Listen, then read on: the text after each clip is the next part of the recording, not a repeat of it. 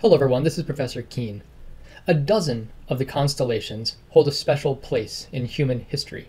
Astrologers have claimed that each person has a sign, so to speak, that corresponds to one of the 12 constellations. Personality traits and fortunes are said to be determined by a person's sign. I would only add that nowadays, personality traits and fortunes are said to be determined largely by a person's genetics. It's almost like the new astrology. I think the similarities are too hard to ignore. In any case, the astronomical basis for assigning the signs is simple. Since the stars move faster than the sun by two hours per month, about four minutes per day, a different constellation moves behind the sun each month. The constellation that is just about to move behind the sun on the day a human is born becomes that person's zodiac sign. The same 12 constellations take turns going behind the sun every year.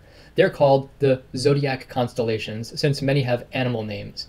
We've already met six of them in our four stories, and they're shown on the following diagram. Here are the six zodiac constellations that we know so far. Orion is not counted here, notice, in the zodiac because the sun technically passes over his head and not directly through him. Let's take a closer look at the zodiac constellations that we already know. Near Orion, you will find two zodiac constellations, Taurus and Gemini. The sun passes above Orion, through the top of the bull's head, and through the waists of the twins. In the Big Dipper's part of the sky, the sun passes through the lion and the virgin, making them part of the zodiac. The sun passes almost directly in front of Regulus, Leo's front foot, and just over the top of Spica, Virgo's bottom. Near the swan, the zodiac constellations are Scorpius and Sagittarius. The sun passes through the top claw of the scorpion and through the top of the archer's bow and head. There are also zodiac constellations near the last guidepost, Cassiopeia, but they have no bright stars and they are not easy to see. When the sun passes through this area of the sky, it goes right between the Great Square and the Southern Fish. The zodiac constellations between the Great Square and the Southern Fish are Aquarius, the water carrier, and Pisces, the fishes. Aquarius, the water carrier, is in the shape of a man running with a bucket. Some water spills out of the front of the bucket and streams down toward the mouth of the southern fish. The sun passes through the arm and front leg of Aquarius. You may see the stars that mark the neck, the waist, and the front bottom of the bucket. The rest of the stars are pretty dim. Pisces, the fishes, is represented by two fish caught on lines.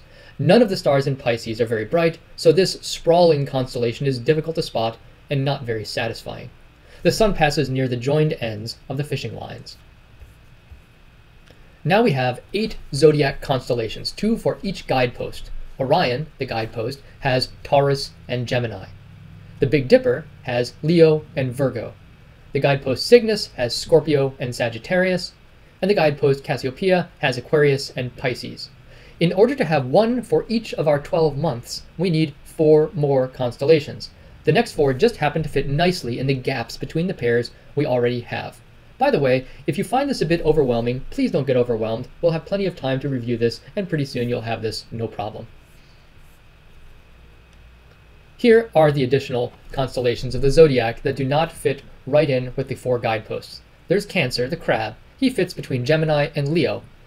Cancer has no bright stars. Aries, the ram, fits between Pisces and Taurus. It has bright stars marking its nose and its neck. Capricorn, the goat, fits between Sagittarius and Aquarius, one bright star marks its horn tip, and Libra, the scales, fits between Virgo and Scorpio. It has bright stars marking the top of the balance and the top of one arm. This now concludes our journey through the zodiac constellations. We have seen the six constellations that we can see near three of our guidepost constellations. Orion has Gemini and Taurus, Big Dipper has Virgo and Leo, Cygnus has Sagittarius and Scorpio, our fourth guidepost, Cassiopeia, has two constellations that are difficult to spot Pisces and Aquarius. The constellation Cancer, Aries, Capricorn, and Libra filled in the spaces between our guideposts.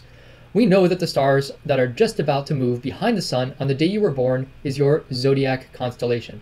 The next time someone asks you, What is your sign? you will be able to answer them with confidence.